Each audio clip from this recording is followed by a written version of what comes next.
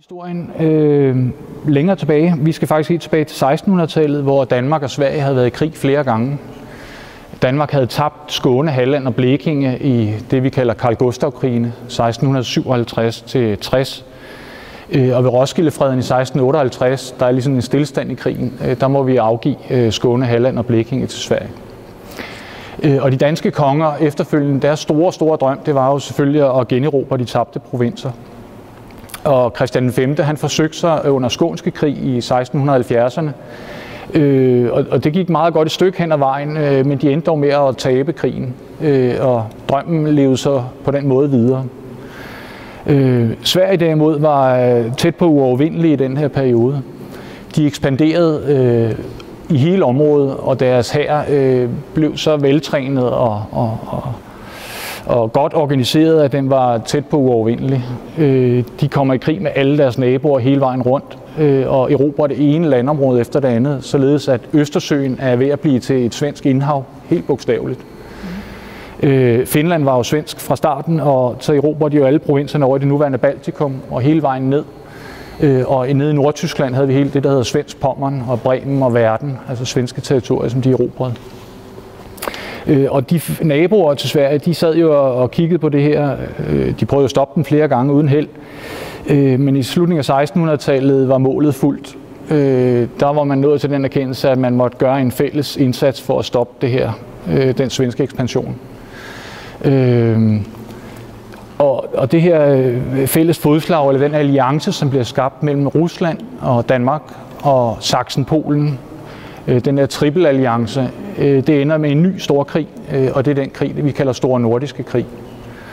Den begynder egentlig år 1700, øh, hvor Danmark er med fra starten. Øh, den skal ikke fortabe mig i vores deltagelse der. Øh, og Danmark melder sig så ud af krigen i en kort periode og ind igen i 1709. Men i årene inden, altså derfra mellem 1700 og 1709, der er Sverige i krig med Rusland og med Sachsen-Polen. Øh, og der er en lang række navnkundige store slag øh, nede på kontinentet, hvor at svenskerne de larmetæver øh, sakserne og russerne på skift. Øh, og i, øh, i begyndelsen af 1709, så har svenske kongen, det er Karl den 12., vi taler om, den store øh, soldaterkonge, øh, han har besluttet sig for, at nu skal han have det endelige opgør med Rusland. Og han indleder et kæmpe feltog ind i Rusland øh, i foråret øh, 1709. Øh, og russerne de benytter den brændte jords taktik, hvor de trækker sig gradvist langsomt tilbage og ødelægger landet helt bogstaveligt. De brænder alle øh, marker og gårde ned under, under tilbagetrækning for at fjerne forsyningsgrundlaget for den svenske her. Og det er sådan, øh, russerne var ret gode til at gøre det konsekvent, men ellers var det sådan en, en almindelig brugt praksis. Vi skal forestille os, når herrer førte krig på den her tid, så var øh, det en logistisk kæmpe udfordring at forsyne dem alle mand skulle have mad hver dag, og det skulle hesten i princippet også. Og specielt når man førte krig i vinterhalvåret, når hesten ikke selv kunne græsse, så var man afhængig af at transportere foder frem. Og der er ingen jernbaner, og der er ingen asfalterede motorveje. Der er kun grusveje, brolagte gader findes kun i byerne. Ude på landet var det hulveje. Øh, så at transportere øh, tusindvis af tons af forsyninger flere hundrede kilometer var en gigantisk øh, udfordring for, for datidens herrer. Og det ender sådan, at den svenske hær de når over til Ukraine, øh, hvor de møder den russiske hær i et stort, stort feltslag ved en lille by, der hedder Poltava. Og det er et helt, helt afgørende vendepunkt i krigen, fordi den svenske hær lider et gigantisk nederlag. Øh, det er der flere grunde til.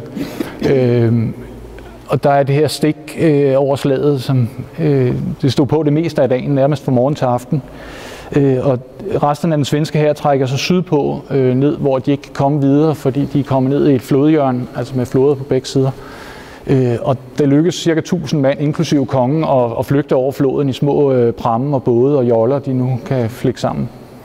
Øh, resten af den svenske her må gå i russisk krigsfangenskab. Øh, det, det er, jeg, kan huske, jeg kan ikke huske præcis, hvor mange det er, men det er langt over 10.000 mand, der går i russisk krigsfangenskab. Øh, og der sidder de så, de fleste af dem, det meste af deres liv. Øh, der går både 10 og 20 år, inden de sidste vender hjem, øh, de få, der er tilbage.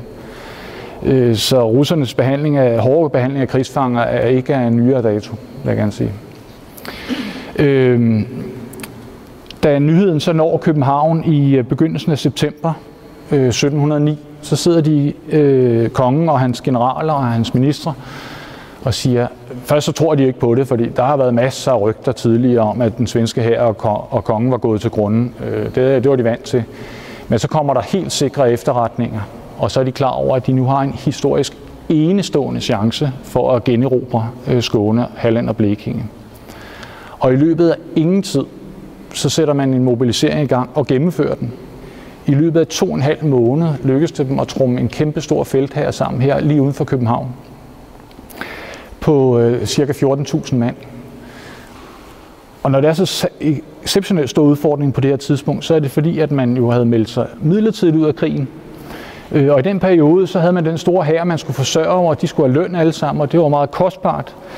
Øh, og alle de andre store magter nede i Europa, de var gået flæsket på hinanden i det, vi kalder den spanske affølgekrig. Så den danske konge havde lejet en hel del af sine regimenter ud til både den engelske konge og til den, øh, til den østriske kejser. Øh, så han var lidt amputeret, så det var lidt, lidt uheldigt tidspunkt, at, at muligheden nu bød sig. Øh, men, men de kunne godt se, at det, den, den, den chance kunne de ikke få passe.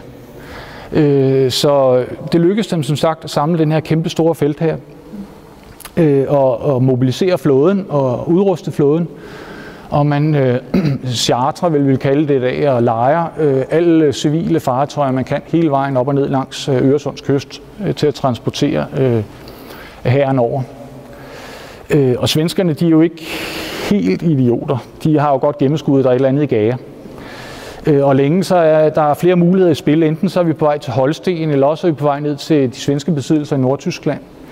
Men det de ligesom begynder at udskrive alle de her joller og småpramme øh, og både op ned langs kysten, så er de godt klar over, at de ikke skal særlig langt. Og så er der kun et sted tilbage, og det er Skåne. Øh, svenskerne havde spioner i København på det her tidspunkt, øh, og inden øh, midten af august, eller slår, inden øh, udgangen af september, så er de godt klar over, at Skåne er målet.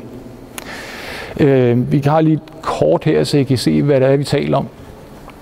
Øh, den, de tykke stiplede linjer viser øh, øh, lensgrænserne, øh, hvor Skåne er helt den sydlige del. Jeg tror, der er sådan en pointer på den her.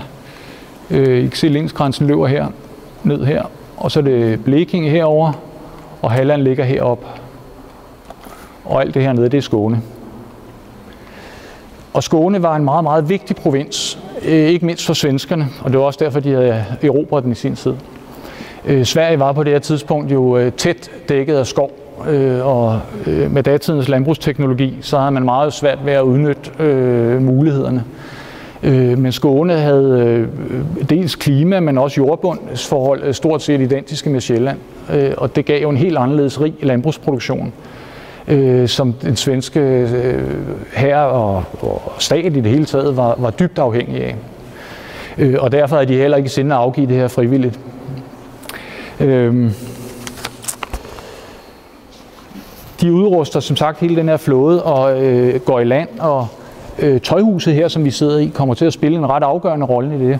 Øh, for tøjhuset var jo både var herrens øh, hovedmagasin, arsenalet, som man kaldte det. Øh, og det var herfra, at hele herren øh, blev udrustet med øh, krudt og kugler og alt, hvad de ellers skulle bruge af vogne og sådan noget. Så der har været der i, i det tidlige efterår 1709 en hektisk aktivitet herinde øh, og i havnen lige udenfor. Så alle skibene, der skulle deltage i invasionen, de kom ind og fik forsyninger ombord, og de enkelte regimenter hentede det, de nu skulle bruge. Så I skal forestille dig, at der er rent hundredvis af mænd herinde og slæbt fra morgen til aften i de der uger, det stod på. Øh, og, og det i sig selv er en bedrift. Øh, de såkaldte tøjhusregnskaber er faktisk bevaret over på Rigsarkivet, så vi kan se, hvad der gik ud og ind af huset øh, i den forbindelse. Og det, det er lidt sjovt, hvis nogen nogensinde skulle få lyst til at bladre i dem. øh, de øh, går ombord på invasionsflåden, og, og de har endnu ikke besluttet sig, hvor de skal gå i land, for det er lidt afhængigt af vind og vejr på dagen. Øh, og, og de sejler ud, og det er et, et frygtindgydende skue. Vi taler en invasionsflåde på samlet omkring 300 fartøjer. Øh, og hvis man har set det, og det er heller ingen tvivl om, at de folk, der har været ombord, altså hvis de har været nervøse, inden de tog hjemmefra, så alene det, man så det, så tænker man, at vi er uovervindelige. Altså, så, så frygtindgydende har det syn været. Og når svenskerne står på den anden side og så den der skov af master, så er de også så er, det, så er de blevet nervøse. Det er der ingen tvivl om.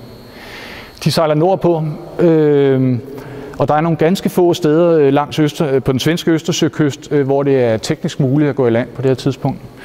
Øh, og de ligger stille et døgns tid, på grund af, at vinden lægger sig. Øh, vi er jo sejlskibens tid. Øh, men da vinden så øh, frisker op næste dag, så er man klar over, at nu er det nu. Og så vælger man at gå i land ved Råå, som er det her lille fiskeleje, der ligger lige syd for 6-7 km syd for Helsingborg. Øh, og der er en fin, dejlig sandstrand, øh, og ikke nogen problemer. Øh, så man sejler jo floden øh, tæt ind under, og så indleder man øh, landgangen. Der findes ingen øh, samtidige billeder af landgangen i 1710. Til gengæld har vi det her fantastiske øh, afbildning øh, af den tilsvarende landgang øh, under Skånske krig, nemlig 1676 som der er lavet en, en fin øh, gobelin, sådan et vævet billedtæppe, som hænger ude på Rosenborg Slot. Og der er nogle fine detaljer, blandt andet den her.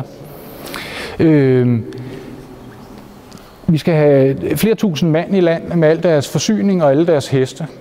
Øh, og der er jo ikke øh, kraner, som vi kender det i dag, og landgangs, øh, moderne landgangsprammen og sådan noget. Så øh, hestene skal helt bogstaveligt hejses op, og der bruger man jo så rækningen som, øh, som kranbommen og metaljeværk til at hejse hestene med sådan en bæresele ind under livet på dem, og så ned i, i, i de her mindre fartøjer, som man så roer dem ind på stranden med. Øh, og det er jo en kæmpe operation. Øh, I dag øh, med et moderne udtryk kalder man det en amfibieoperation, øh, eller combined operations, som det hedder på endnu mere nudansk, øh, med amerikansk låneord. Øh, og, og det her billede viser det er jo ganske, ganske glimrende. Øh, Krikken her er på vej til at blive hejst ned ombord. Og I kan se her, øh, hele båden her, der sidder musikkorpset og musicerer imens. og, og det, det er sådan en genial detalje. Fordi det var jo sådan, at herren, at de rykkede jo ingen steder uden musik. Altså, det, det skal man ikke tage fejl af. øhm, og, og vi taler ikke bare sådan øh, signal, at man blæste, eller slog signaler. Nej, nej, det, det er regulær musik, altså harmonimusik. Øhm, ja, øh, og i løbet af øh, øh, tre dage cirka, så lykkedes det dem at landsætte de her 14.000 mand og alle hestene øh, på stranden ved Råge. Øh, og de første, der går i land, de, øh, de spæner ind sådan i, ligesom i øh, Saving Pride Ryan ind på stranden, fordi de ved jo ikke, om svenskerne er lige op bag ved et eller andet sted. Fordi danskerne havde ikke været så snedige her spioner på den svenske side. Det, det er helt tydeligt, de havde ingen spioner. Altså, det, der er kilderne ret entydige. Øh, og øh, de, de sender deres eliteregimenter i land først, og de har spanske ryttere med, øh, som er sådan en stor øh, bjælke med, med, med spidsede pigge ud til alle sider, øh, som man stiller op i, øh, i forreste række til at beskytte sig mod kavaleriangreb. Øh, og de laver sådan lynhurtigt sådan feltbefæstning og står klar med musketterne der, indtil resten bliver sat i land. Øh, og så ligger de der. Og hvad nu? Og det er jo et af de springende punkter, fordi der virker det som om, at den danske her øh, virker tøvende og ubeslutsom, hvilket egentlig er underligt. Øh, hvis vi går over på svensk side og ser, hvad, hvad de var godt klar over, at de kom, men øh, hele den store øh, imponerende felt her var gået til grunden i Rusland. Øh, og de beslutter ganske vist hurtigt, at de skal rejse en ny her, øh, blandt andet ved ny udskrivning, ekstraordinær udskrivning af soldater. Øh, og øh, guvernøren over øh, Skåne, det var den svenske general Magnus Stenbock, og han havde tidligere gjort tjeneste i feltogene nede i Polen og i Sachsen, øh, og øh, gjort sig selv stor ære, og havde blandt andet været generalkvartermester og stået for forsyning af hele den svenske hær nede i Sachsen og i Polen. Så han var lige præcis manden, der, der kunne forsyne og styre en hær. Øh, og nu havde han egentlig fået posten som guvernør i Skåne som sådan en retrætepost, fordi han gerne ville være hjem til konen og alle børnene i stedet. Øh, og Gud døde mig så ikke om de der dumme danskere, de lander nede på hans strand. Altså, det, det var godt nok usportsligt. Men faktum var, at han havde kun to kavaleriregimenter til rådighed i hele landsdelen, øh, og så en lille garnison på en bataljon i henholdsvis Malmø og Landskrona. Og der kunne han altså ikke udrette noget som helst mod 14.000 mand. Øh, så han prøver ikke engang. Han trækker sine styrker tilbage og gør alt, hvad han kan for at forbedre forsvaret af de to fæstningsbyer, Malmø og Landskrona. Vi kan lige gå tilbage til kortet en gang, så I kan se her. Vi har Landskrona der, og Malmø hernede. Og det var de to eneste fæstninger i Skåne på det her tidspunkt. Øh, så de havde strategisk meget, meget stor betydning. Øh, og da danskerne så endelig har besluttet, at øh, fordi de ligger der på stranden i deres telte, og det er jo efterårsvejr, vi er jo i slutningen af november efterhånden, øh, og det blæser, og det regner, og det, det er frygteligt. Øh, øh, så de rykker ind i Helsingborg by, og der var garnitionen bestod kun af 36 mand. Øh, så de havde fornavlet deres kanoner, øh, og når I ser kanonerne ligge her, så er der et fænghul, hvormed man tænder ladningen om bag. Og når man fornavler en kanon, så slår man dybest set bare et stort søm i med en stor hammer. Og det kan man jo ikke trække op igen. Øh, så det kræver specialværktøjer at bore fænghullet op igen, og det tager timer med datidens teknologi. Øh, Så de 36 mand, de var bare smuttet, så byen lå fuldstændig åben. Så, så danskerne de indtager den gladeligt og hejser det danske flag op på stjernen af det store fæstningstårn, som eksisterer nu oven for kystgrænsen, hvis I kommer derop. Jeg kan jo fortælle det. Øh, jeg kender kun Helsingborg by som, øh, som, som færgerejsende, hvor man kører fra færgen og så lige op, øh, op igennem slugten øh, op mod motorvejen, og, og det er jo en frygtelig kedelig tur. Men men lige parallelgaden fra havnefronten, der ligger faktisk mest charmerende lille købstad, øh, som jeg klart kan anbefale, med dejlige restauranter, caféer og et rigt butiksliv. Øh, det kom i den grad bag på mig, da jeg kun kendte øh, det fra motorvejstrækningen. Øh, så, så det kan jeg klart anbefale. Øh, de øh, vinteren er ved at sætte ind, og man beslutter, man er, som sagt, man er temmelig ubeslutsom og, og har ikke den store lyst til at, at erobre provinsen til sydlædende. Øh, man vælger at gå i vinterkvarter. Så man indlægger alle regimenterne og de enkelte kompanier i omegnens, i regionens landsbyer. Øh, og vejret er også frygteligt. Øh, det regner, og det vejene er mudret, og Øh, og Stenbog, da han trækker sig tilbage med sine folk, så brænder de og ødelægger alle broerne undervejs over de store åer. Øh, og så er det altså også svært at komme frem, især når vejret er, som det er. De, øh, I begyndelsen af januar, så slår vejret i midlertid om, og frosten sætter ind. Og det betyder, at vejene bliver færbare igen. Øh, og så får de lige pludselig travlt. Så er det som om, at herren vågner op til dødet, og nu, nu skal den øh, udføre det, den egentlig er sat i verden til. Så i løbet af ganske få uger, øh, så rykker de øst på, øh, uden at møde modstand overhovedet. Svenskerne er væk. De har trukket sig helt tilbage over i Blekinge. Øh, og de begår en kæmpe taktisk fejl i den manøvre, øh, og, og de var egentlig godt klar over det selv.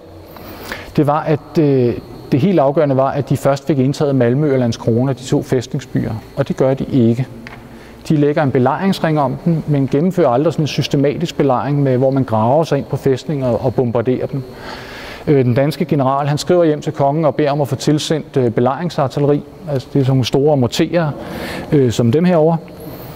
Øh, men de, de kommer aldrig frem. Altså det, øh, uanset hvor meget han beder om den, så sker der ingenting. Øh, og han må efterlade øh, cirka godt 1000 mand ved hver af byerne, og han efterlader også 500 mand i Helsingborg, eller jeg tror han måske næsten 1000 mand i Helsingborg, hvis nu svenskerne kom ned op fra Halland.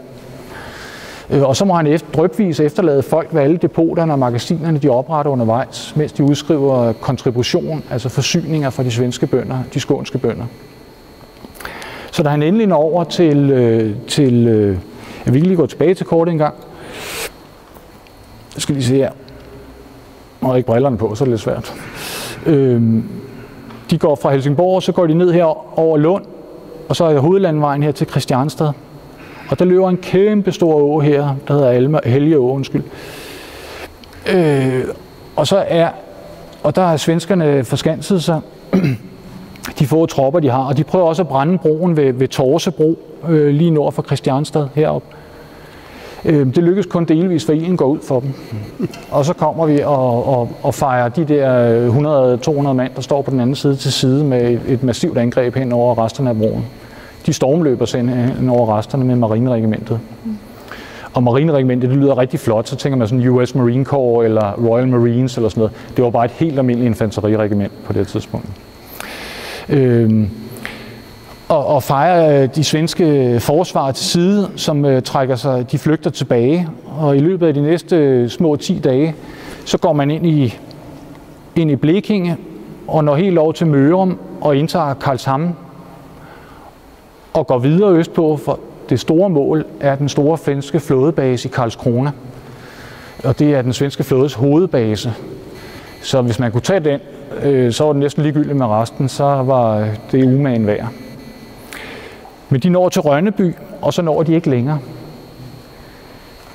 Revendlov, den danske øverstkommanderende, har ikke mere end 6.700 mand tilbage på det her tidspunkt. Øh, resten har han måtte efterlade drypvis undervejs øh, til lokalforsvar og til indeslutning af Malmø og Landskrona. Øh, og samtidig så er svenskerne jo ikke ligget på den lade side. Øh, general Magnus Stenbock, han er jo flygtet op i Småland, hvor han øh, med hjælp fra øh, den midlertidige regering i Stockholm, som regerer øh, i kongens fravær, han er jo forsvundet ned, ned af Stortyrken efter at have flygtet fra russerne, Tyrkiet, eller det osmaniske rige og, og, Sverige var jo allieret mod Rusland på det tidspunkt. Så, så han var flygtet til sin allierede. Øh, men i hans fravær, så er der nedsat en midlertidig regering i Stockholm, og, og, og og dem, øh, de formår i fællesskab at rejse en ny her. Øh, og her er vi over ved en af de ting, som også går øh, galt fra starten. Ideen med at invadere Skåne der var den oprindelige plan, at øh, den norske her samtidig, Norge var en del af Danmark på det her tidspunkt, at den norske her samtidig med invasionen med, i Skåne, så skulle de falde ind over grænsen op ved Bohuslen. Øh, men det lykkedes aldrig den norske her at blive klar, inden øh, vinteren for alvor sætter ind. Øh, det fik også konsekvenser, for generalen for den norske her blev fyret efterfølgende. Han blev dog ikke stillet for en krigsret, øh, man kan godt se, at han, var, han, han kæmpede øh, en, en umulig kamp. Altså, det, var, det korte og det lange er, at det lykkedes ikke den norske her at blive aktiv og klar. Øh, og det gør det muligt for Stenbock og regeringen i Stockholm at frigøre de regimenter, der lå op ved den norske grænse. Og de går så i ilmars ned sydover og igennem Småland, øh, hvor de så mødes med alle de her nye regimenter, som man har rejst ved den ekstraordinære udskrivning. Øh, og det, de samler sig ved en by, der hedder Væksjø. Den er så lige rød for kortet. Den ligger cirka heroppe, lige uden for kortet. Og øh, så mens Stenbock han står heroppe med en her, der er efterhånden 10.000 mand stærk, som han, de træner alt, hvad de kan. Og ligesom jeg talte om, at den, den, svenske, eller den danske invasion og amfibieoperation var dybt imponerende, så er den svenske øh, genrejsning eller øh, genoprustning, den er lige så imponerende. I løbet af de her ganske få måneder lykkedes det dem at, at skabe en helt ny her bevares. Der var nogle øh, rutinerede regimenter imellem, men altså de fleste var, var nye folk. Øh, og det beviser bare, hvor militariseret det svenske samfund var, at man på trods af, at alt hvad man havde investeret i den store felt her på 30-40.000 mand, som var forsvundet i Rusland, så lykkedes det dem at rejse ny i løbet af få måneder. Det viser, at hele det administrative apparat og hele det militærindustrielle apparat, det bare var på plads, og det virkede. Øh, men den danske øh, ekspeditionskorps her, de står jo helt over ved Rønneby, da der kommer melding om, at en ny stor svensk her samler sig herop. De er godt klar over, at øh, de, hvis de går ned her, så bliver de afskåret. Og de har ingen forsyninger, forsyningslinjer hjemmefra. Øh, og så vil de ende med at, at blive øh, udslettet simpelthen. Så den danske general Reventlow, han beslutter at gå tilbage og indlede taktisk tilbagetog. Og de går tilbage til Skåne, her til Christianstad, og indtager en defensiv linje i cirka sådan en halvbue her, dækket af de store åer.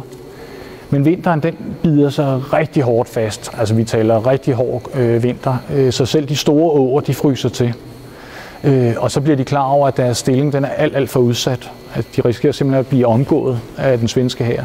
De naturlige barriere er ophørt, simpelthen, så man kunne beskytte sig bag. Øh, så man fortsætter sit, øh, sit tilbagetog. Øh, stort set samme vej, man kom ned her med den svenske her i hælene. Og I kan nok forestille jer, at det der med at være på tilbagetog, det er nedbrydende for moralen i sig selv. Det er altid en fordel at være den offensive part. Øh, og det vidste generalerne også godt udmærket, men de kunne ligesom ikke gøre andet. Så man kan sige, hvad er alternativet? Det er at gå til modangreb. Og det overvejede de skam også. Men problemet er, at det øjeblik, at de vendte herren mod og gik nordpå, så ville Stenbuk bare forsvinde op i Småland. Og så havde de problemet igen.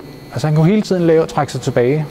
Så de vidste, at de var nødt til at holde sig nede hvor at, øh, i de her rige øh, landskab, med, hvor de kunne få forsyninger, øh, og så finde en egnet plads, hvor de kunne møde den svenske her i et åbent feltslag, uden at de kunne løbe væk og snyde dem. Øh, og som sagt, så gjort. Øh, og der ender vi så helt op ved, øh, efter at have gået den her lange, møjsommelige vej, de støder sammen med nogle, der er flere mindre træfninger undervejs, øh, hvor øh, øh, dels den svenske her har lidt succes, og, og andre gange er det den danske her, der har succes. Øh, så det er sådan nogenlunde lige, lige fordelt. Men det er bidende vinter, og tilbagetoget her bliver beskrevet i nogle af kilderne som, at, at de er helt bogstaveligt at fryse ihjel, da de går hernede fra op. Øh, det sneer, og det blæser, og det er hårde for frostgrader. De får frysninger i ørerne og i næsen og i fingrene og sådan noget. Og, og så er vi over ved uniformen her. Fordi hvad havde de egentlig at gøre godt med? Det var jo, øh, jeg vil gerne lige sige, at den er ikke original. Der findes ikke bevaret originale uniformer fra den her periode, eller første halvdel af 1700-tallet for den sags skyld, i Danmark. Øh, det har de selvfølgelig i Sverige. de har været lidt bedre til at passe på deres ting. De havde måske også lidt stoltere tradition, øh, lidt mere veneration. Øh, hvorom alting er, vi har rekonstrueret en uniform øh, fra perioden. Øh, og den er uldklæde med sådan et, et groft øh, bag, øh, som er sådan et groft vævet uldstof øh, som for. Øh, jeg vil lige sige, den her lige et par år senere, fordi kraven blev altså først indført i 1712, øh, hvis der er nogen, der har bemærket det. øh, men ellers er typen fuldstændig den samme, som de bar i slaget ved Helsingborg. Øh, men den røde farve, det var altså kun øh, eliteregimenterne, de såkaldte kongelige regimenter, som havde navn efter de kongelige, som bar røde uniformer. Resten af den danske her uniform havde øh, såkaldt hvidgrå kjoler. Og hvad er hvidgrå for noget? Det er simpelthen meleret øh, forul, som er ufarvet. Altså hvor det, det grundlæggende er hvidt, men det er sådan lidt nistret med, med lidt gråt i. Ja, jeg kan ikke engang lige finde og pege på noget, men vi er sådan over i noget af det her. Øhm, og den er jo dejlig varm øh, i sig selv, men øh, soldaterne måtte for egen regning anskaffe vanter og halsterklæder, de kunne pakke ørerne ind i, som de kunne bære under den trekantede hat øh, for at modstå kulden. Efter det her tilbagetog, så ender de øh, op ved Helsingborg by. Øh, og planen er, at øh, nu er der, og grund, jeg kan lige sige, hvor, grund til, at de overhovedet går tilbage til Helsingborg, det er det eneste sted, man har skibsforbindelse til Sjælland hvor man kunne hente forsyninger hjem eller til sig, og hvor man kunne få forstærkninger fra. Ups, sådan. I skal lige se øh, den svenske hovedperson, Magnus Stenbock her. Øh, et, et meget fint portræt, som er næsten samtidig. Det er lige malet et par år før. Øhm, øhm, der er lige lovligt meget pral i det her portræt. Øh, jeg ved ikke, om vi spotter detaljen. da han står med en marskalstav. Han var ikke marskal endnu, det blev han jo senere, øh, fordi han havde tævet os. Men det han står i her, det er øh, en klassisk øh, rytterudrustning for perioden. Øh, det danske rytteri var udrustet på fuldstændig samme måde, som han står her. Han har en, en, en køllert, som er sådan en knælang frakke af elskin. Og den er altså ret modstandsdygtig. Også over for skarpe våben. Altså, der skal, der skal du, du hugger ikke lige igennem den. Det kan godt være, at du kan stikke igennem, men du hugger ikke igennem den. Øh, og så har han det sorte kyras øh, brystpanser på, på overkroppen. Øh, og så kan man sige, er sådan noget noget værd? Ja, det var det. Det kunne faktisk godt stoppe en musket eller en pistolkugle. Øh, så, så skudsikker vest er altså ikke nogen ny opfindelse. Øh, men ellers står han jo i sådan en klassisk positur for en adelsmand for perioden med øh, øh, den store allonge-paryk, det er altså ikke hans eget hår, han bærer her. Øh, og nu vil jeg, jeg har desværre ikke taget billede med ham her, men øh, den svenske konge, Karl den 12., som jeg omtalte før, øh, han, øh, han dyrkede det der soldaterliv øh, så voldsomt, så øh, han lod sig portrættere i samme periode uden paryk. Og det var, altså, det, det var, jeg vil ikke sige, det var dramaskrig, jeg skal heller ikke overdrive. Øh, men faktum var, at han var den første monark i Europa, der lod sig afbilde uden paryk øh, med, med sit eget hår. Og det var selvfølgelig meget kort hår, som de to unge herrer her. Øh, og det var jo rimelig grænseoverskridende, for det for adelen, det var jo meget at iscenesætte sig selv, ligesom det her portræt også viser. Øh, og han fremstår på de her portrætter som en fuldstændig menig soldat, og det var helt bevidst. Han havde det der hofliv øh, og, og snopperiet og og alt, hvad der foregik, øh, og det der opstyltede hofliv, det var ikke lige ham. Nej, han ville hellere ud i felten og sove sammen med soldaterne. Nogle øh, påstår onde tunger, at han rent faktisk gjorde det, helt bogstaveligt. Oh, no. øh, men, men det er sådan en omdiskuteret ting i svensk historieskrivning. Øh, det, det vil vi ikke blande os i. Det kan de have for sig selv. Øh, vi står nu ude foran Helsingborg øh, den 10. marts 1710, og øh, det har regnet øh, om natten øh, ganske voldsomt endda. Øh, og efter de her øh, flere ugers øh, foregående hård vinter, Øh, og da næste morgen, så øh, på grund af det her varme nedbør og varme luft, der kommer ind fra Øresund, så danner sig en meget, meget tæt og kraftig tåge over hele området. Altså, de samtidige kilder nævner, at man stort set ikke kan se en hestelængde for, frem foran sig. Øh, og de danske patruljer, man tør næsten ikke sende dem ud i den her tog, fordi de risikerer at blive overrasket. Man ved godt, at svenskerne er derude et eller andet sted i nærheden, sådan cirka hvor de er. Men de danske generalstabsofficerer øh, og den danske chef øh, er, er fuldstændig overbevist om, at den svenske her, de, de rykker ikke ud i det her vejr. Øh, det er kun tåber, der rykker ud i den slags vejr. Man kan jo ikke se noget. Altså, det, øh, men de, øh, der kommer patruljer ind, øh, som har været ude der tidligere om morgenen, og de melder altså, at der er altså noget, der tyder på, at de er i anmarsch. Og de er, sådan, de er lidt tvivlende på det, det er sådan lidt, lidt modstridende rygter. Kommer de derover eller der og sådan noget. Øh, så de tvivler rigtig stærkt på det. Og hen ad kl. 10 om formiddagen, der står den danske øverstkommanderende. Jeg skal måske lige indsparke, at vi har skiftet chef undervejs, fordi den danske general Revendlov, han bliver alvorligt syg under tilbagetoget øh, med gigtfeber. Han ender faktisk med at være sengeliggende i syv samfulde måneder, inden han øh, kommer sig. Øh, så man udpeger øh, den næst rangældste i rækkefølgen generalmajor, eller generalløjtnant Jørgen Ransau som ny øverstkommanderende. Og han står her foran Helsingborg den 10. marts og kigger du ved, med sammenknebende øjne ind i togen. Og solen er så småt ved at komme op. Og lige pludselig så er det som, togen letter. Og de kan se ind under togen. Og lige pludselig kan de se sådan 3 km ude, cirka 2,5 km ude. Der lå øh, en mindre skov øh, ved Pålsjø. Ja, det, det der detaljkort har jeg ikke med. Men jo, det kommer senere i øvrigt. Øh, og lige pludselig kan de se de svenske, den svenske her komme ud af skoven, som sådan en, en blå lavastrøm, der bare flyder ud af skoven, fuldstændig lydløst. Svenskerne havde sådan, øh, givet nøje ordre om, normalt når en her var i mars, så var det altid med trommer og fløjter, altså når man gik frem, der var musikken igen. Øh, men det kommer fuldstændig lydløst ud af skoven, som sådan, sådan en stor flydende masse. Og så kan det nok vel lige være, at han synker en klump. Øh, for nu har de manøvreret rundt i fire måneder, som katten og den varme grød, men nu er de klar over, at og det sjove var, at han faktisk øh, bare en time forinden havde han sendt en kurér tilbage til København med besked til kongen om, at der kommer nok heller ikke noget slag i dag alligevel. Altså, det gjorde det. Og jeg skal lige have min mellemtid. Det er jo vigtigt, at vi... Ja, tiden skrider, synes jeg. Vi skal videre. Øh, det korte og lange er, at øh, der bliver øh, skudt alarm fra stjernerne fra fæstningstårnet, og den danske her, som, hvor et hver kompagni havde sendt folk ind i byen for at hente morgenmad, de må smide alt, hvad de har i hænderne og spæge ud og tage øh, opstilling i den aftalte slagorden uden for byen. De to styrker, som så lige står over for hinanden her om formiddagen den 10. marts, de er faktisk jævnstore. De består af 14.000 mand hver. Øh, fordelingen er lidt forskellig, øh, men i princippet er de ens. Her kan vi se, hvordan det så ud, da det hele begyndte. Vi starter med, at vi har Helsingborg by hernede med skibsbroen, som var den eneste forbindelse hjem til Danmark. Så har man opført en let feltbefæstning rundt om byen, som i kilderne omtales som retrangementet med et fransk låneord. De var meget glade for franske låneord, kan jeg så sige. Øh, så var man noget, hvis man kunne slynges om med dem. Det er ligesom vi bruger franske lån, eller engelske låneord i dag. Øhm, så var byen jo omgivet af en bymark, øh, men på den her årstid var den jo selvfølgelig uopdyrket.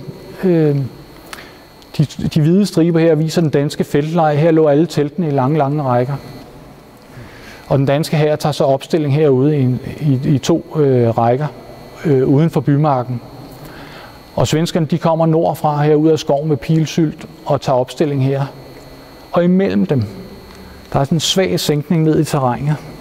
I kan forestille jer, jeg har ikke højdekurve på det her kort, og jeg blev der simpelthen for mange informationer i det. Men der ligger sådan et, et sammenhængende vådområde øh, med et, et vandløb, der løber igennem og afvander hele det her vådområde med nogle store oversvømmede engarealer. Og isen var intakt på dem på trods af nattens regn. Øh, men ellers var det jo værre at ælte det her, kan I nok forestille jer. Den danske udgangsposition var ganske, ganske stærk. Vi står på det der high ground, endnu et engelsk lånord. Øh, øh, med, øh, med, med, med noget skov herover og en, en, den der kløft øh, til den ene side, og noget mere vådområde over på den anden side. Så vi stod egentlig rigtig godt som udgangspunkt, og med spanske ryttere foran og feltkanonerne stillet op imellem øh, kompanierne, eller bataljonerne, undskyld. Øh, men så er det, det begynder at gå galt vi kan lige se her, det er det eneste kendte afbildning, der findes af slaget ved Helsingborg. Øh, det er et træstik, øh, og det er sikkert jo lavet i massevis af eksemplarer, men øh, jeg er kun stødt på det her ene eksemplar, de har på Krigsarkivet oppe i Stockholm. Øh, kunstneren har tydeligvis ikke været der selv, fordi øh, Helsingborg Skyline er sådan en rimelig fri fantasi. Han har hørt, der har været der er et fæstningstårn. Det er så blevet rundt her på kortet. Det er jo firkantet. Og byens kirke, den ligger jo neden for skrænten. Den er så flyttet op oven på skrænten og sådan nogle små ting. Og sådan. Men han har dog fanget en ting rigtigt. Det er alle de danske soldater, der flygter tilbage til byen heroppe. øh, og vi kan se, der er en dansk officer her. Han, han rækker sin kåre til fjenden her i, i tegn på, at han overgiver sig og beder for sit liv. Øh, så så øh, mange af detaljerne i billedet giver egentlig et meget retvisende billede af, af sådan et, et, en type slag. Øh, det der sker er, at øh, den svenske general, han står, øh, Stenbok står også og kigger på det her, han kan godt se, at det ser ikke særlig godt ud. Danskerne, de står jo uhyggeligt stærkt her. Men han beslutter sig dog for at lave en flankemanøvre, som vi kalder det, da han begynder at sende alt sit kavaleri herud på sin venstre fløj herover, hvor de krydser det her vådområde herude af brohuset og trænger den vej rundt. Og den danske general ser det her, og han bliver nervøs, så han sender alt sit, begynder at sende sit kavaleri ud for at, at stoppe dem inden de når at, at, at tage opstilling i angrebsformation. Og det lykkes egentlig meget godt. Øh, det danske kavaleri de øh, samler sig derude og går til modangreb, inden svenskerne når at samle sig og stille sig rigtigt op. Det er helt afgørende, at man har styr på sine formationer i, i, i, i datidens taktik. Øh, og der er danskerne altså øh, ret skrabe her. De, de øh, kaster de svenske eskadroner tilbage og slår rigtig mange ihjel i den her forbindelse. De hugger dem simpelthen ned for fodet øh, og de øh, flygter over hals og hoved. Men som vi måske bemærkede på styrkeoversigten før, så havde svenskerne væsentligt mere kavaleri, end vi havde. Så de bliver ved med at tilføje nye eskadroner, som kommer over i brohuset. Øh, og der sker hverken værre eller bedre, at øh, vores general Jørgen Ransov, han var sådan en ryttergeneral af den gamle skole, og frem for at være den der kølige general, ligesom Stenbok, som bevarer overblikket og det taktiske overblik og styrer og dirigerer sine tropper efter, hvor der nu er behov for dem, så rider han jo i forreste linje med, med koren i hånden ikke? og hugger svensker ned. Det er måske ikke lige der, en general skal være. Øh, og det går da også galt. Han bliver selv skudt øh, tværs igennem brystet. Øh, han overlever ganske vist, øh, selvom han er skudt øh, tværs igennem lungen, øh, hvilket er ret mirakuløst. Øh, men, men det gør han. Øh, men det korte og lange er, at øh, det danske kavaleri, øh, de bliver simpelthen, øh, de kollapser over på højre fløj øh, og begynder at flygte tilbage mod Helsingborg. Som jeg nævnte, der ikke fandtes nogen samtidige gode illustrationer. Til gengæld er der nogle øh, nyere kunstnere, der har prøvet at give et indtryk af sagerne her. Jeg har fundet et par stykker, øh, hvor vi kan se et øh, infanteri i nærkamp her. Øh, vi kan lige tage det næste skridt. I mellemtiden, med at, at kavaleriet stod sammen herover, så det svenske infanteri, det er rykket sikkert, men langsomt frem og har passeret det her vådområde, delvist delvis tilfrostende vådområde. Øh, og den danske her, øh, chefen er jo væk, han er jo ridder jo et sted herover, øh, sådan øh, en lille 800 km væk herover. Så hans næstkommanderende herinde på midten, han, øh, han prøver, og han er egen drift, så kommanderer han herren fremad, for ligesom at prøve at lukke gabet. Og det er en kæmpe taktisk brøler. Han skulle have blevet stående i sin øh, sikre udgangsposition. Det faktum er, at i løbet af cirka en time, så står de svenske og det danske infanteri øh, øh, parallelt over for hinanden. Øh, og den danske fremrykning den er ret forseret, og det lykkes dem ikke at få de spanske ryttere med, og heller ikke deres feltkanoner. Det viser sig at være en kæmpe fejl. Svenskerne de rykker til gengæld langsomt, men sikkert frem og får deres feltkanoner med. De afsatte et helt regiment infanteri til at slæbe kanonerne. Altså over 1000 mand til at slæbe deres feltkanoner, og det viser sig, at det, det betaler sig. Da de så går løs på hinanden, så er vi tilbage ved, så er det set sådan her ud. Øh, den svenske her havde stadig pikenerer, altså med de her lange øh, træspyd, øh, hvor den danske her udeluk øh, var gået bort fra dem. Øh, øh, så, men svenskerne havde sådan en kombination af musketter og piker, øh, og de indleder simpelthen sådan en meget tæt øh, musketilds-duel, øh, øh, hvor det dybest set dem, der bliver stående og har den højeste disciplin og formår at lade øh, så hurtigt som muligt, det er dem, der vinder. Øh, så enkelt er det i princippet. Det er klart, at der er mange andre faktorer på spil her, men I kan få en fornemmelse af det her. Her kan I så se også noget svensk infanteri angreb, øh, og i nogle af de her øh, døde danskere i forgrunden. Det er vores øh, grenaderkorps, som var herrens elite-regiment. Øh, da svenskerne retter øh, deres interesse mod dem, de er nogle af de sidste, der bliver stående, nemlig så lyder og råbet ned i de svenske geleder, slå på søndagskalen. Og tænker man, hvad er det for et mærkeligt begreb? En søndagskale, det hænger jo sammen med, at når man gik i kirke om søndagen, så tog man sine fineste klæder på. Og Grenaderkorpset havde de absolut fineste og mest kostbare uniformer i den danske her, så de, de strålede lige frem sammenlignet med de andre i deres hvidgrå farve. Øh, det var virkelig flotte uniformer. Øh, det hele ender med, at øh, det danske infanteri herinde, de kan se, at kavaleriet er øh, ude på højre fløj er tilbage i hovedkuls flugt med det svenske kavaleri i hælen tilbage mod Helsingborg. Og da de samtidig øh, oplever, at det svenske feltartilleri, de pløjer med kardeskskud, altså hvor man lader øh, kanonen, de her feltkanoner med øh, blikdåser eller lærredsække med mange små kugler i, så du forvandler sådan en feltkanon til et stort havlgevær. Og kilderne er ret enige om, at de affyrer dem helt ned på 20 meters afstand ind i de danske geleder. Øh, så rydder den jo altså et gevaldigt hul. Øh, og da de så samtidig får øje over skulderen, at, at, at svenskerne er på vej ved at, at komme bag dem, at det svenske kavaleri, så går der panik i dem. Og de først begynder at, at spæne, og så er det ligesom, du ved, når den første række øh, vakler og begynder at løbe, så breder det sig som en løbebil, og i løbet af få øjeblikke, så er hele herren i vild flugt tilbage mod Helsingborg. Øh, og sådan her, der er i, i, i fri flugt, den er et fuldstændig nådesløst bytte for kavaleriet, som kan hugge dem ned øh, for fode. Deres eneste chance for at overleve, det er faktisk at blive stående sammen og, og formere karé, altså sådan en firkant, hvor man øh, med bajonetterne prøver at forsvare sig. Det når de ikke. De eneste, der bliver stående, det er den kongelige livgarde, og så grenaderkorpset, som vi så før. Øh, og øh, ikke mindst livgarden bliver stort set udslettet, øh, fordi de bliver stående. Øh, men kæmper dog øh, uhørt øh, modigt. Tilbage i Helsingborg, som så sådan her ud på det her tidspunkt. Vi kan se øh, retranchementet, det her lette feltbefæstning, som bare er sådan en lav grav med en lav vold øh, med nogle palisader, man har stukket i. Øh, den yder dog en vis beskyttelse.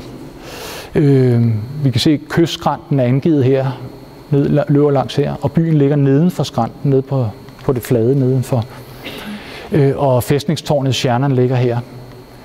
Øh, og det er her, de søger tilflugt alle sammen. Engelholmporten, som ligger her, det er ikke en egentlig byport, det er bare en, en stor bog øh, hen over landevejen, øh, men de kalder den Engelholmporten.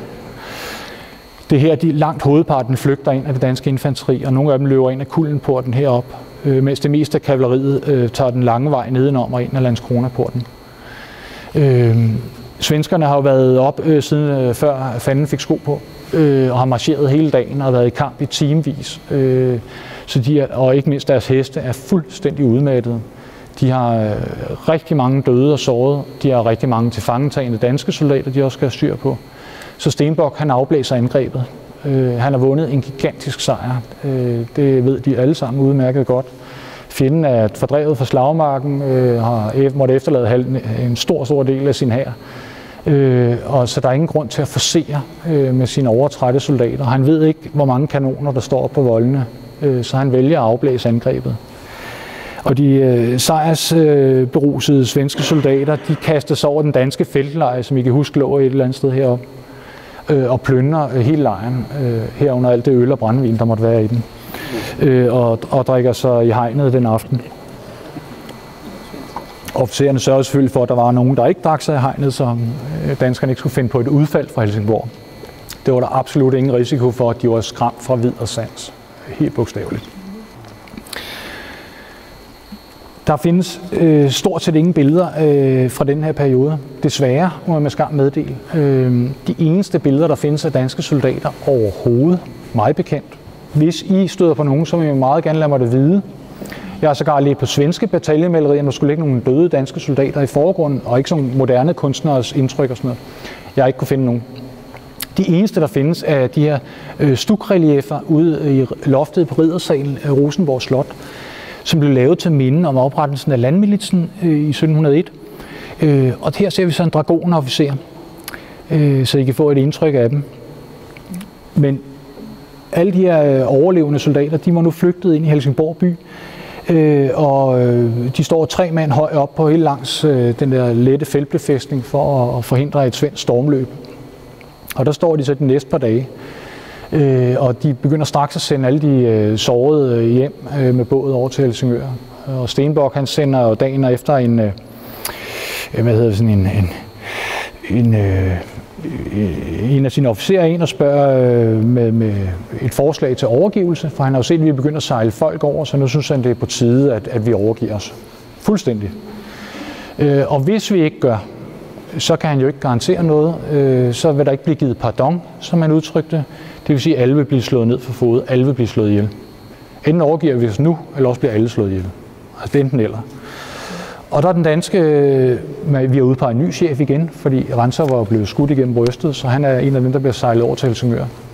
Ny chef, øh, Davids, øh, Frans Joachim von Davids, en tysker, øh, som har gået i dansk tjeneste. Øh, og han er nu øverstkommanderende, og han svarer jo kægt øh, den svenske oberst, at jamen, han skal heller ikke vente, at dansken giver svenskerne pardon, når de nu vælger at storme. De vil også blive slået ihjel alle sammen. Så kan de lære det. Og det var lige kæk nok svaret, fordi det havde han sandsynligvis ikke midlerne til, øh, rent militært på det her tidspunkt.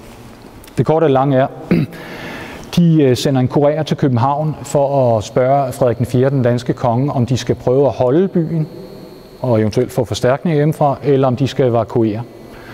Og Frederik den 4. Øh, sender en kurér med tilbage med en hurtig båd, som ankommer omkring øh, den 13. Øh, altså tre dage efter slaget, om aftenen med besked om, at de har grønt lys til at evakuere, når det er teknisk muligt. Der er ingen ræson i at prøve at holde byen. Øh, det, er, det er håbløs gerning. De ved jo, at svenskerne bare vil kalde flere og flere forstærkninger til, og om få dage, så vil de også få belejringsartilleri og sådan noget. De havde øh, kun øh, 3-4 pjæser øh, til rådighed på det her tidspunkt.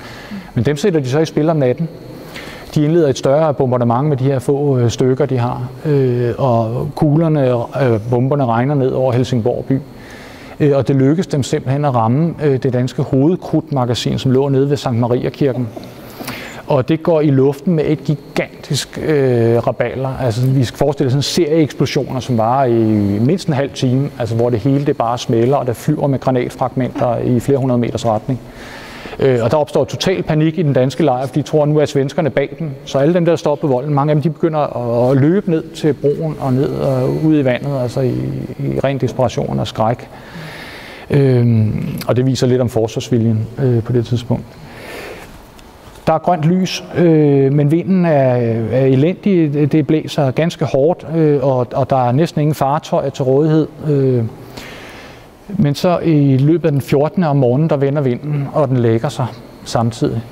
Og så er Davids øh, fuldstændig klar over, at øh, nu har han øh, muligheden for at evakuere sin hær.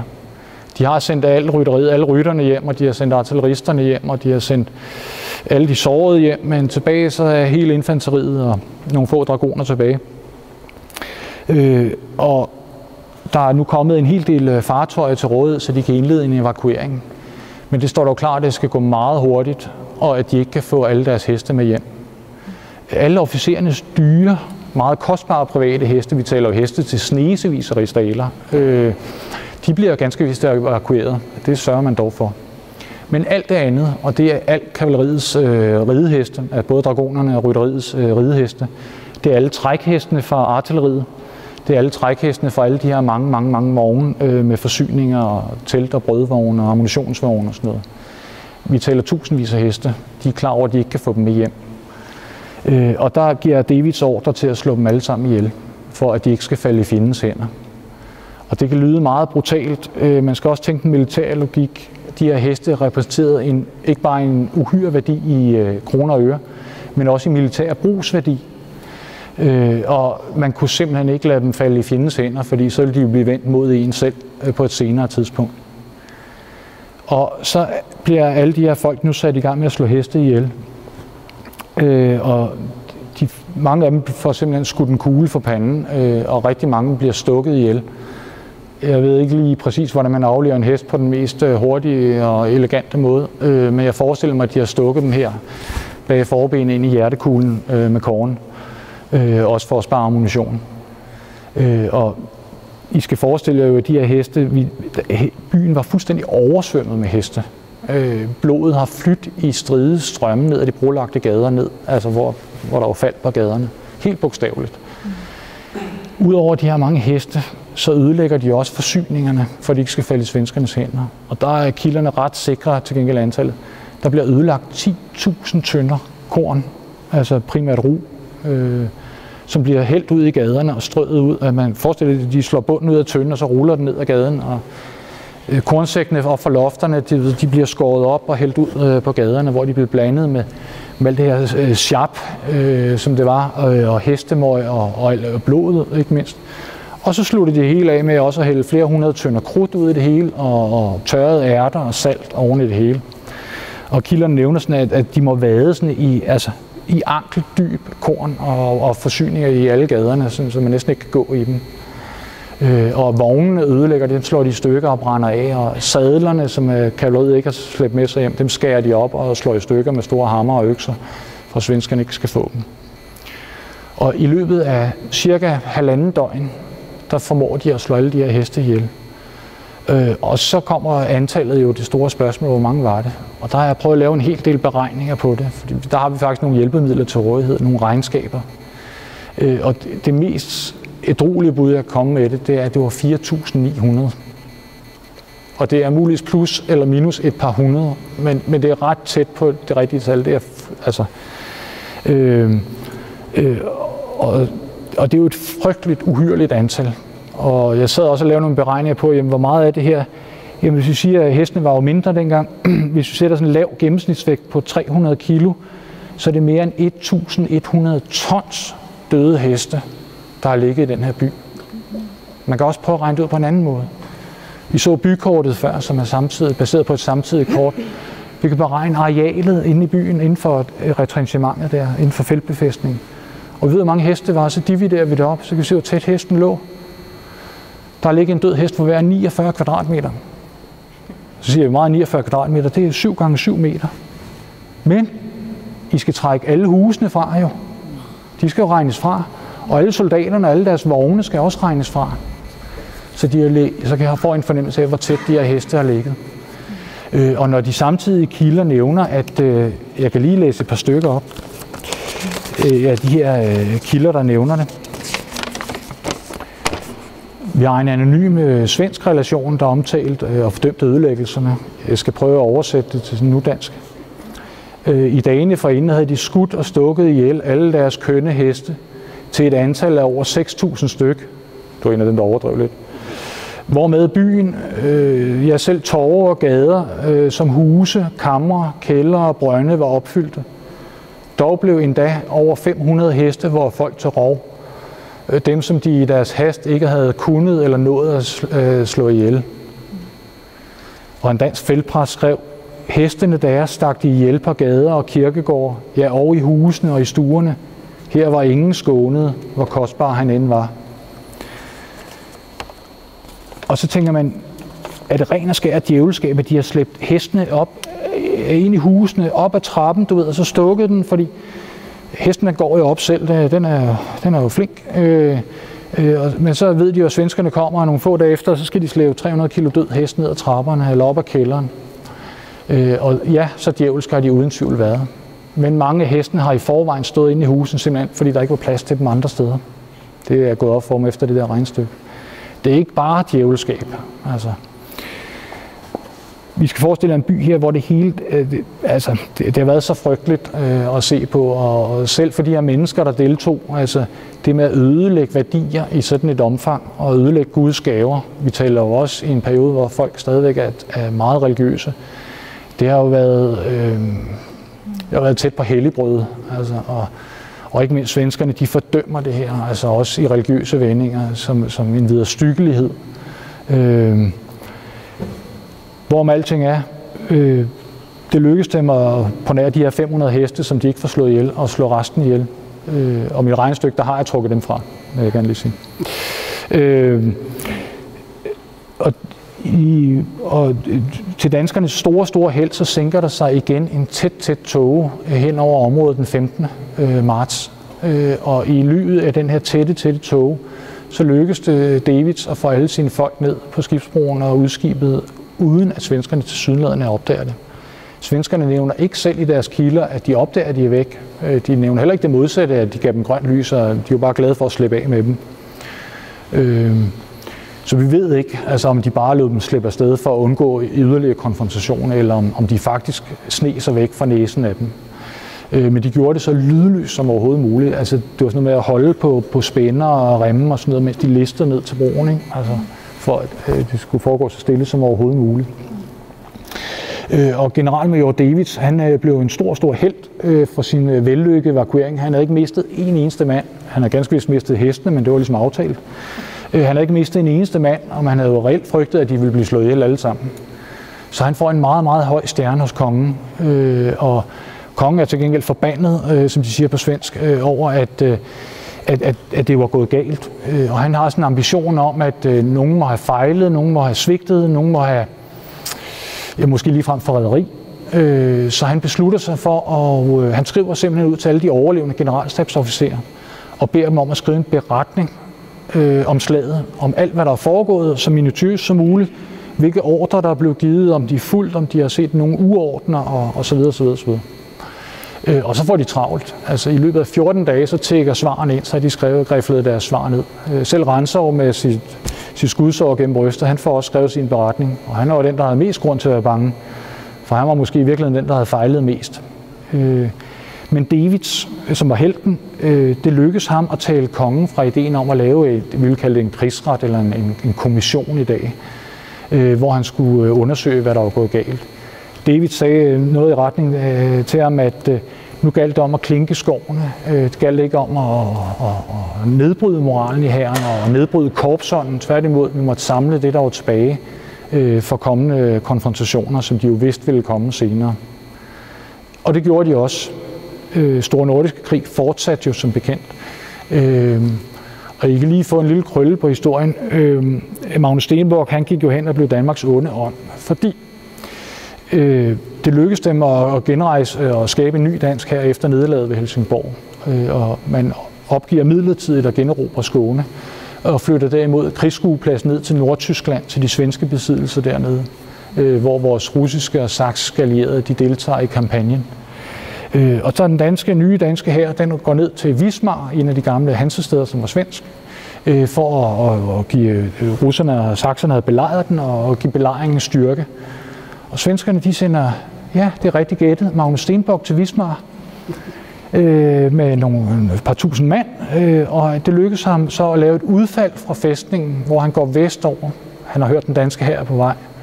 Og så går han ud med sin nye store feltherre, og så lammetæver han os en gang til. Jeg er ked af at sige det. Øh, endnu et stort øh, feltslag, øh, Gardebus hedder det, slaget ved Gardebus 1712, øh, hvor den danske her lider nederlag igen. Men så var Magnus Stenboks held også opbrugt. Han bliver langsomt, men sikkert øh, tvunget øh, nord og, og, og vestover og går op i Holsten øh, til sin allierede, den holstenske øh, hertugen af Holstein Gottorp. Øh, og der er kun én fæstning i Holstein. Øh, den hedder Tønning og ligger ved øh, øh helt ud til, til vestkysten. Øh, og der går han ind i fæstningen, som så bliver indsluttet af den danske hær øh, med, med hjælp fra den russiske og den saksiske. Og der lykkedes det dem helt bogstaveligt at sulte dem ud af byen, så Stenbok efter nogle få måneders belejring må overgive hele sin hær og gå i dansk krigsfangenskab. Og derfor har vi her i Tøjhusmuseets samlinger alle øh, en del af de ting, som blev taget som krigsbytte i den forbindelse. Ikke mindst fanerne fra regimenterne, som de måtte overgive. Og det er de selv samme faner, som de bar under slaget ved Helsingborg. Vi har dem ikke liggende op på loftet, vil jeg sige. De ligger i et, et klimastyret magasin et andet sted. Øh, og det er jo skrøbelige sager, så det er ikke nogen, vi udstiller særligt tit, øh, kan jeg godt sige. Øh, og Stenborg ham selv, himself, han måtte jo gå i dansk krigsfangenskab. Øh, efter sejren øh, ved Gardebus, så var han med, blev jo øh, ekspresudnævnt til generalfeltmarskal. Den højeste militære titel, man overhovedet kan få. Øh, så Danmark har rent faktisk taget en generalfeltmarskal til fange, øh, selvom han havde slået os to gange. Og han ender sine dage her i København. Først så sidder han i husarrest hernede ved Gamle Strand øh, i nogle måneder. Øh, men han bryder ligesom sin, øh, når man som, som højtstående officer på den tid så gik i fangenskab, så gav man sin, sin ed på, at man ikke ville lave numre. Og det gør han. Han skriver hemmelige øh, kodede breve, som han får smuglet ud øh, Øh, men de bliver opsnappet, og så er man godt klar over, at han er ved at brygge alt muligt sammen. Og så bliver han sat i skærpet arrest ude i kastellet, og der sidder han derude de næste to og et halvt år, øh, hvor han bliver nedbrudt øh, både fysisk og psykisk, og han ender med at dø i, øh, som nedbrudt mand i 1717. Øh, og han, er faktisk, han sad ikke i arrestlokalerne om ved kirken. Det var de grimme fanger, der sad der. Han var trods alt en meget højt profileret, øh, fornem fange, så han havde sin egen lejlighed med egen kammertjener og sådan noget. Så, så slem arrest var det altså heller ikke. øh, men, men han havde været vant til en anden tilværelse, så han blev nedbrudt øh, og endte med at dø af det. Øh, jeg tror, jeg har overskrevet min tid, så jeg vil stoppe nu. Øh, ja.